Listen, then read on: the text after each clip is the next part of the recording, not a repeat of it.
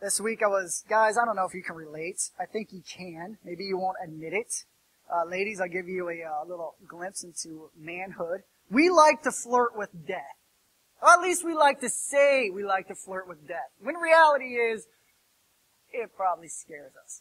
Um, but this week I flirted with death, and I was quite proud of it. What happened was I was uh, I was sitting on my couch. I was on the phone with someone or something. Yes, it's dangerous on my couch. I'll tell you what. I'm sitting there and I'm feeling like you know something dribble out of my nose, and I'm just like, well, I don't got allergies or anything, so I do what every man would do, just because my wife is asleep, I can do whatever I want, and uh, and I leave a long streak of blood down my arm, and I'm like, I never get nosebleeds. And the first thing that pops in my mind is the scene from a movie that I saw, and I have no idea what it's called outside of this scene, or the movie was about a, a, kid who had a bloody nose throughout life, and he eventually died from a bloody nose. So I wiped my nose on my hand, blood all down my arm, and I said, I'm gonna die. This is it. This is how I'm gonna go. This is my thought process. Uh, my first thought is, alright, milk it for what it's worth. Becca's sleeping. So I get my paper towel and I'm just like, you know, just blood's getting everywhere. I'm like, I, I look, I look pretty much like death. So I go into the room and Becca's laying there and fast asleep and trying to be courteous of the fact that she's sleeping, but I want my wife to know I may be dead soon. So I tap her on the knee. Becca, Becca, you sleeping?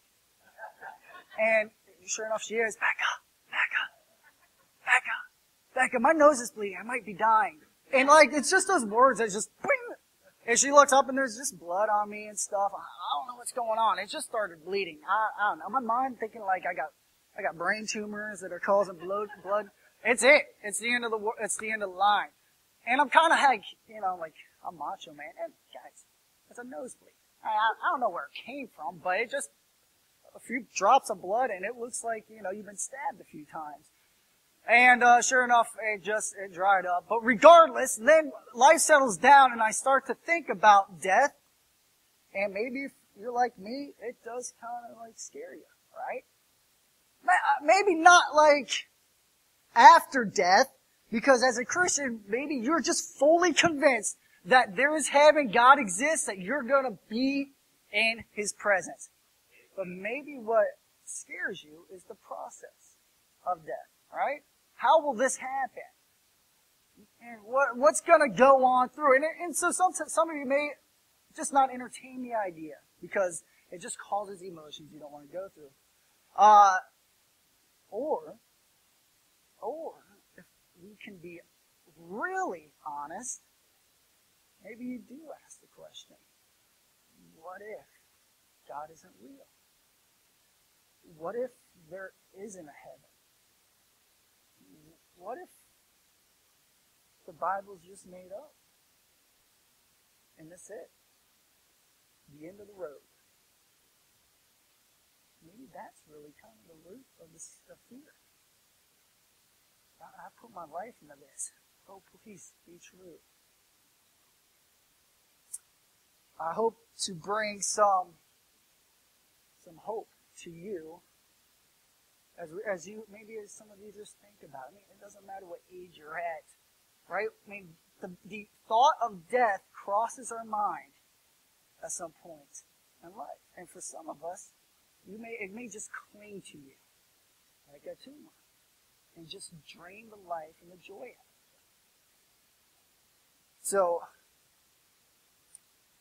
one of the things that I just, I, what am I going to corral around today I think it's this phrase, as I live, says the Lord, that we see in Romans 14.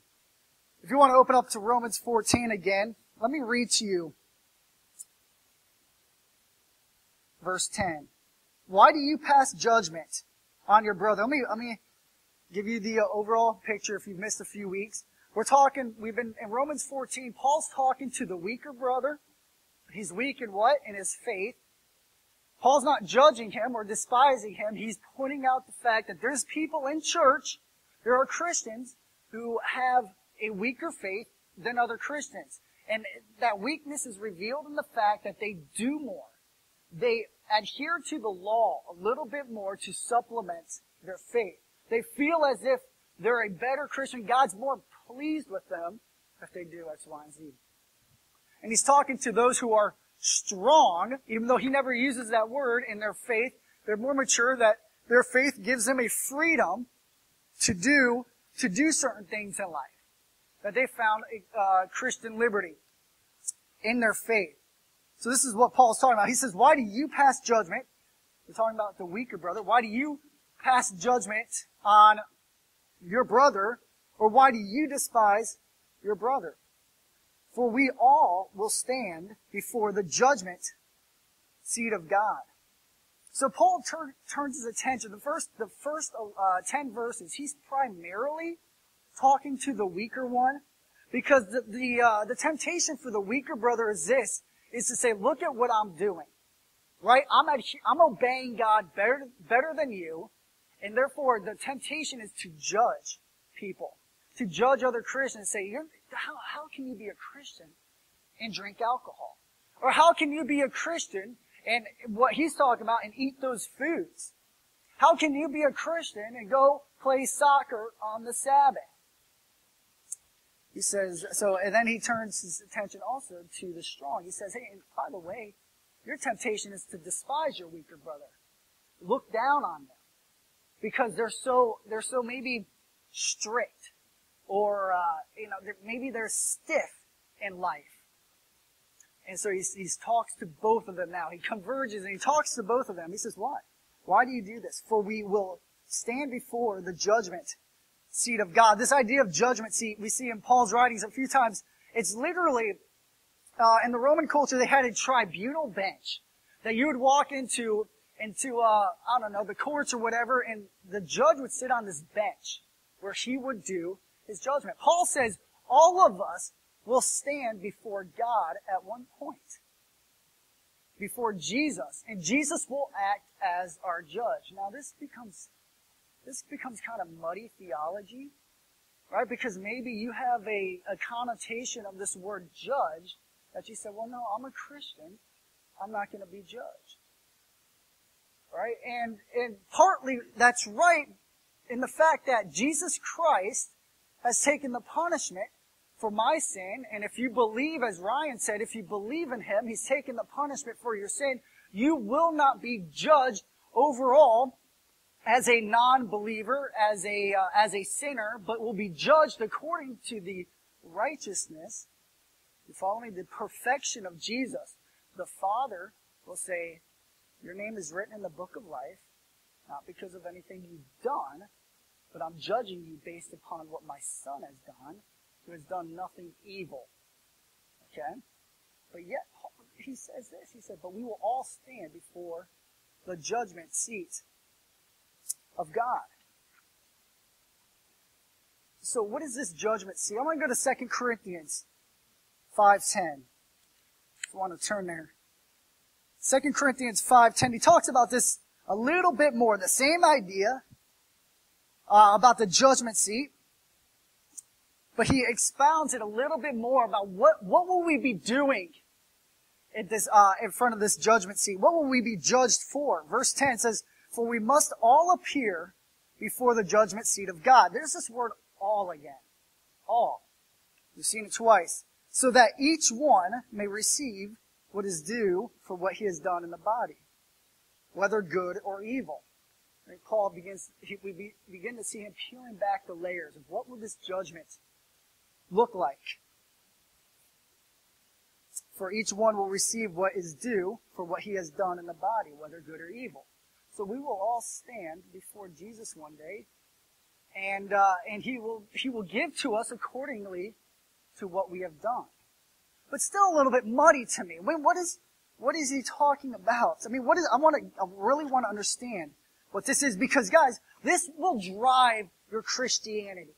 If you've got a warped view of how God is going to judge you, you will, you will live a warped life as a Christian. You will, there's the uh, possibility that you will think that the, that Jesus or God the Father will always be mad at you because you can never do enough. And so therefore you're going to always try harder so that one day he'll look at you and say, ah, you did perfect. But even to this day right now, if you're a child of God, the Father is pleased with you because of your faith, not because of anything you've done, but because you believe in Him. Does that mean we have, we give no account for the things we do today? Do the things we do today have any eternal effect on us? And they do. They do. Verse 11, back to Romans 14.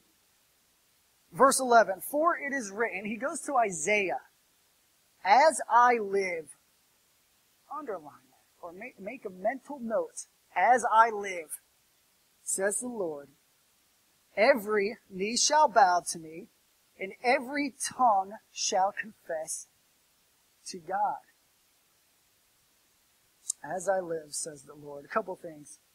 I want to not just know, I want to hammer on. We see these words all, every. Guys, they're this is a this is a prophecy about you. One day you will bow your knee to God. To Jesus. One day you will bow your knee to Jesus. One day your lips will utter that God was God alone. It, it won't, and it won't be God, Jesus is forcing you, bow, bow to me. You must confess it. You know, it will be a, just a gut reaction as you enter into his presence. Think of this, Joseph. Remember Joseph back in Genesis 41-ish? He has a dream about his brothers. And that dream, what was it? It was about his brothers bowing down to him. And the brothers laughed at him. No, this will never happen. He has another dream. They bow down to him. Never happen. Never happen. Well, sure enough, one day, through God's sovereign hand, Joseph ends up in Egypt, one of the top rulers in Egypt, and sure enough, his brothers end up in his presence, and without even thinking about it, they bow to him. I think this is what it's going to be like. It's not, we're going to be, we're going to be in God's presence one day, and this won't cross our mind. It will be the fact that you're standing in the very presence of God, that your knee will hit the ground. Your knee will hit the ground one day. Don't mark my words on it.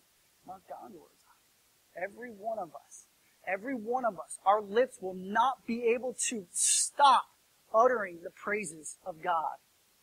It will happen. It will happen. And what is, okay, alright, sure, it will happen. Prove it to me. Prove how, you say it will happen. Paul uses this phrase as his back, as his backbone, as his, uh, this is, this is where I was getting stuck earlier in my preparation. Um, Paul says, here, I'm going to prove it to you.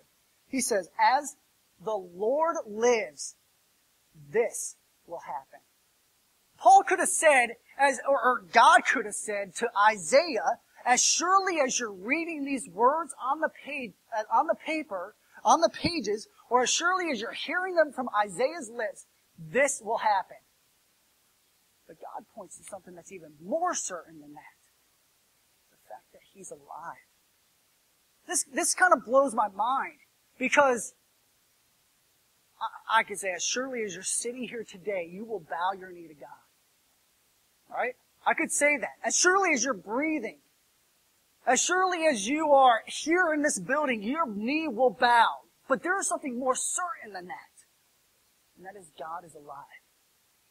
God uses His own living presence to say, as certain as I'm alive, this will happen. So more certain. You're, you're absolutely sure, guys, you're here right now? More certain than that, God is alive. More certain than that, Christianity, your faith in Him has purpose. But don't we live in a culture today that says, I don't know. I don't know. I mean, I don't even know if there's a God. I, I mean, I don't know what to believe. Well, God's, God uses His own life as, as saying, man, bet on that. Bet on that. The fact that I'm alive, guys, and if you're struggling with the idea of death, and you say, well, I don't know. I've gone through those phases, and I probably will continue, and I, and I was, I was thinking about this and said, can I even say this? I don't know, I'm human. Doubt? God, I hope, man, I put everything into this. Those, those words come out of my mouth sometimes. Those thoughts flow through my head. And God tells me and He tells you this morning, hey, I am alive. I was as alive 2,600 years ago when I spoke to Isaiah as I was 2,000 years ago when Paul put his pen to the paper as I am today, as I was 4,000 years ago when I told Moses in the burning bush, I am who I am.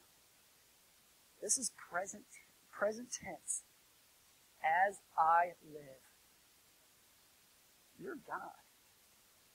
Jesus Christ, we're, we're celebrating his arrival here the ne- over the next few weeks.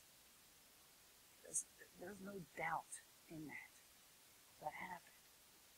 And he is alive and well, sitting at the right hand of his Father. Those both you may, you may think because the circumstances in your life that God has pulled back, or that He's not alive, or He doesn't care. But in His sovereign grace, He is alive and well, so you can bet on it. You will see me one day. 70 years ain't, ain't that long. It's coming soon. It's coming soon. This is a prophecy about you. It's kind of weird to put it that way, but as I think about it, I, I mean, Paul is saying, Isaiah was saying, this is about me. My knee will go to the ground one day. It will happen. Yours will too. Yours will too. I'm thinking, I'm, I'm walking through Best Buy on Black, on Black Friday. And the thoughts are coming through my head as I'm standing there just looking at the people. And we live in a relatively calm area of the nation when it comes to Black Friday. I mean, you just are reading about the guys who're stabbing each other at parking spots and stuff. And is this pagan worship when we're killing each other over TVs, over parking spots to get to the TV? Is Best Buy the new Athens? Just all the different idols on the shelves as we walk through and pick which ones we want that's worth our, our money and our time. It's not, it's not to, it's not to knock on Best Buy or to knock on us shopping and giving gifts over Christmas, but it's, it's how pervasive our worship is becoming for things that are just garbage. They have no eternal value. None whatsoever. As I live, as I live, says the Lord. Philippians 2. Paul reiterates this to the, to the Philippians. Philippians 2, verse 10 and verse 11. And Paul brings this up, this idea up, now three times in his letters. So that the, at the name of Jesus, every knee should bow in heaven and on earth and under the earth. And every tongue confess that Jesus Christ is Lord to the glory of God the Father. just, to the glory of God the Father, I picture, I picture it like this. Just take this as my like mental picturing, not as, as biblical. Uh, God the Father, Jesus is on his, his right hand, right side. He's judging the nations. He's judging us. We're giving an account for what we have done. Uh, we'll talk about that a little bit more.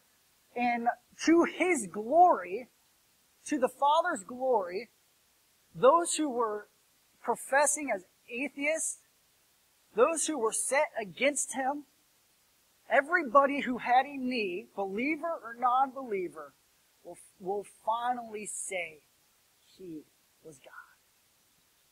And the Father will do, I, I just wonder, will the Father be there in delight in that? His Son, who was crucified at the hands of sinners, those very sinners will take back those words and probably beg for mercy as they confess that they killed the Son of God. I don't know. I mean, but this is this is just huge. It's not just Christians. We're not the only one that we bound. Every single one of us, everybody in this community, everyone that walks down these streets, everyone that goes and does whatever they do at midnight, every single person will bow their knee and confess Jesus as Christ. Verse 12. So then each of us, of Romans 14, verse 12, so then each of us will give an account of himself to God. This is where it becomes kind of hazy. Okay, this is what, there's, there's two judgments that will take place. This is the way I isolate it in my mind. We've got one judgment where, where the, uh, where Jesus separates the goats from the sheep, right? You're my child. You're not my child. And then we have a second judgment where everybody will give an account for what they've done in this body. Uh, so then each of us will give an account of himself to God. If we go back Romans 2, verse 6 through verse 13, this kind of, it brings it out a little bit more. Same book, same person who wrote the book. Romans as a big picture is the, is we, uh, we are justified by faith. Alright, we are children of God, not because of what we do, but because we have faith. Romans 2 now, verse 6 to verse 13. I mean, just forget that. That was great stuff. He will render to, I'm like, this is, he will render to each one. Uh, let me just go straight to verse 13 because that's the good one. For it is not the hearers of the law who are righteous before God, but the doers of the law who will be justified. Holy smokes, back up the station wagons but the doers of the law who will be justified. I thought we were justified by faith.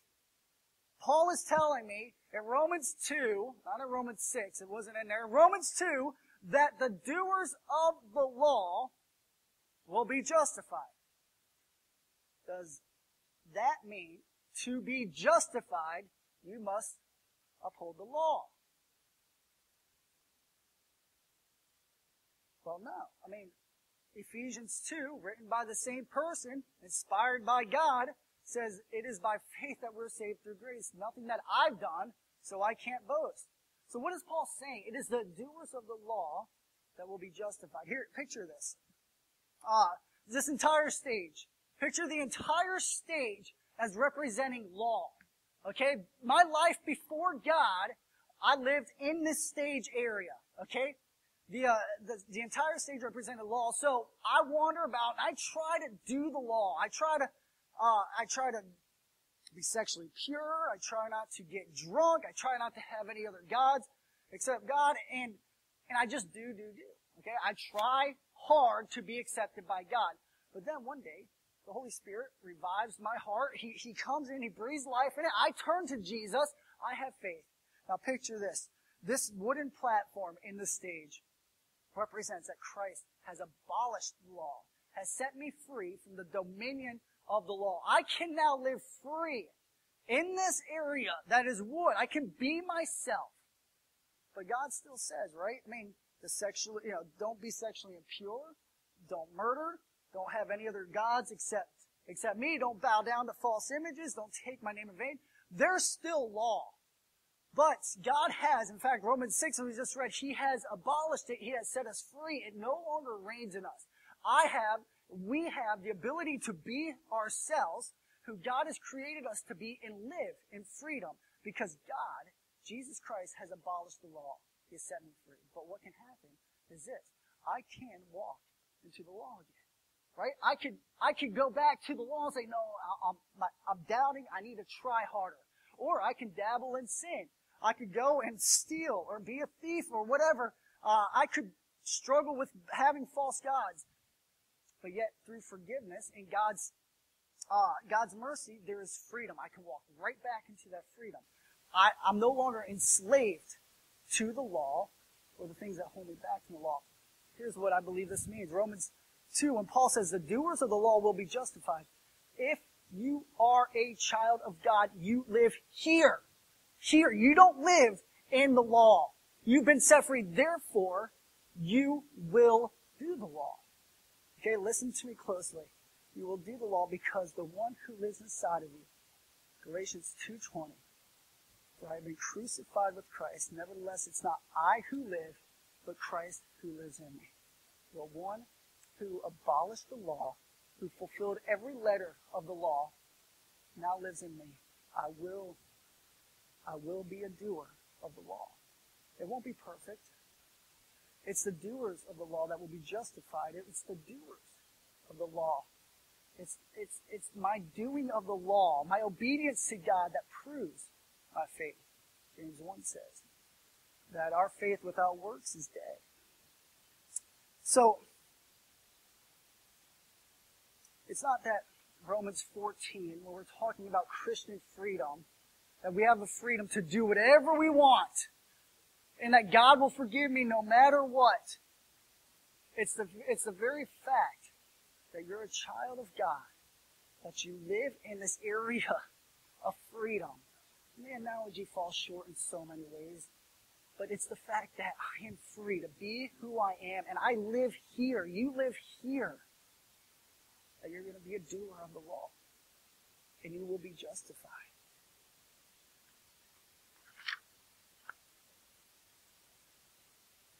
One more, one more passage. 1 Corinthians 8, uh, no, 1 Corinthians 3, 8 through 14.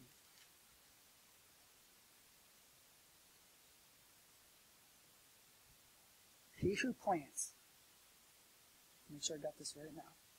He who plants and he who waters are one. And each will receive his wages according to his labor. For we are God's fellow workers. You are God's field, God's building. Paul just called you a garden and a building. According to the grace of God given to me like a skilled master builder, I laid a foundation. Paul says, I laid a foundation in you as Corinthians. Same thing I'm kind of doing now, hopefully laying a foundation. What's the foundation? And someone else is building upon it. Let each one take care on how he builds, builds upon it. Verse 11. For no one can lay a foundation other than that which is laid, which is Jesus Christ. The foundation is Jesus Christ. Faith in Jesus Christ. The foundation is the gospel.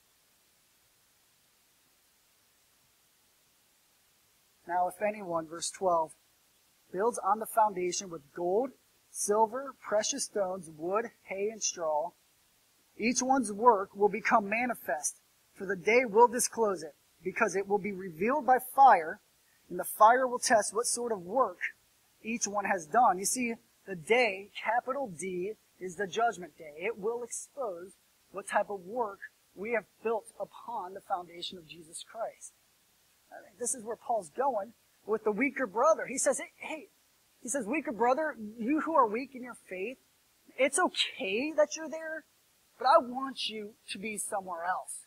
I want you to have faith in God so you can build a life upon the foundation in your heart that's not built upon your works and your doings of the law, but is built upon faith. Because one day, like gold, silver, hay, straw, Everything you're doing to try to please God that's not done by faith, but it's done out of fear and doubt, it's of no value. You will stand before Jesus one day and say, well, I did X, I did X, Y, and Z. He said, well, hey, you're still my child, but, but where was the faith? X, Y, and Z, I mean, I, I appreciate it. Listen, uh, this is, this is where part of me went, I went wrong. And when I was young, when people did these like, I don't know, little storylines of like Judgment Day and stuff. I ain't been there. So I'm just kind of portraying what I see it as. Uh, but do not develop a theology I will stand in front of Jesus one day and, and this conversation will take place. I was just trying to break it down as best as I can for you that, that Jesus says, listen, this stuff that's all worldly, the law, I mean, without faith, it means nothing. Verse 14, if the work that anyone has built on the foundation survives, he will receive a reward. And so Jesus says, I will reward you those things you do in life that were by faith. So, there are degrees of punishment that uh, non-believers will receive based upon what they do in this life. There are degrees of rewards that believers will receive based upon what they do in this life. But our judgment, our salvation, our righteousness is not dependent upon what I do. It's dependent upon what Jesus has done. I'm going to let this be, and I'm going to pray that God will take this message and work on it in you, um, because I feel like it's unclear. Um, so here's the point. Here's, here's how I want to wrap up. Uh, if, if I can leave you with anything, it's this. As I live, says the Lord. As I live, says the Lord. You serve a God. You love a God. You follow a God who is alive right now. Right now. And one day you're going to see him. And he's going to either smile and say, man, welcome home. Welcome home. I am so glad you're here. Let's talk about what you did in that life. Let's talk about the good you did, the faith that you had. And then let's go build you a, you know, a house or a mansion. Let's go give you a bunch of crowns depending upon what you, you know, what you did in faith. I that's awesome. But as I don't think that's going to matter to me. I'm going to be standing in the presence of God. I'll be too busy bowing and confessing Him as God. Here's what it tells me. Church, is it, uh, is that this, is that we've got a bigger job to do. Uh, let me get real practical just for a minute. We, we talked about the refinance here a couple of weeks ago, and we're going to begin uh, remodeling the nursery and moving the bathrooms and the sanctuary. Um, this is a this is a great chance for us as a church to embrace uh, what Paul has been teaching us in Romans 14. It's this idea of not judging and despising. I'm excited about the fact that God has allowed us and given us the finances to put some money into this building. The uh, the catch 22 on that is is most of the stuff that will be done is mere man's opinion, no eternal value. We're going to change carpet, and we are going to survive as a church. You know why? Because I know we get it. Right? I mean, we may not, you may not like the carpet color. I believe you will love the carpet color because I'm not picking it out. We've got people that have, do this for a living to pick it out and pull it all together. We, got, we asked a couple people from the outside who know what they're doing to hold our hands through this because of this.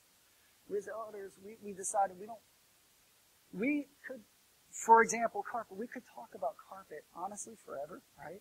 Because everybody has an opinion, and your opinion matters, and we would want to hear your opinion, or we simply make the decision and move on because we realize that something as small as carpet color can distract us from the bigger picture of our purpose as a church.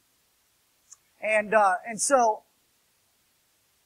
every if if Paul is right and he's betting on the fact that God says he's alive, so therefore I believe he's right, everybody in this community will confess God one day. Jesus is God. I want to see that. Let's have, let's have that happen today, this side of the grave. Right? That's why I don't want to, I don't want to talk about carpet color. Guys, when we, when we paint it in here, it just, it drains us as leaders. When we, when we do sit down and talk about opinions. So as a church, I want us to embrace what are mere man's opinions and things that will burn up in the end, and what are things that are going to last forever. So we want to use this building as best as we can for God's glory. And also, on top of that, it's just a tool. Uh, maybe we'll move out five years because we fill it up and we need to. Every knee will bow. Every tongue confess. We come into a season where we talk about Jesus Christ coming into this world, the greatest gift that can be given. We have a Christmas Eve service. We're going to do a small outreach project afterwards. Afterwards, very simple um, outreach project. And uh, the gospel message will be preached. I mean, church, let's, let's come together as an army of 60 to get people's knee to bow today because of the goodness of God. Get people to confess Jesus as Lord today. And not just take that chance that it won't just happen, but it, the fact that it will happen. It will happen. They will, they will meet God. And a lot of them will beg for mercy. Let's show them the gospel today. Church, I'm excited about you. I mean, I, I love to see our growth over these past two years. We're still a young church. And, but I've seen so much growth just in the uh, 60 of us or so that come here. It's, it's awesome to see that and I'm excited to be here. And I'm excited to be doing a Christmas Eve service for the first time this year. Uh, if the band, if you want to come up, uh, soul care workers, if you want to also come up. I don't know, kind of the heavy thing that's on my heart right now is the idea of death.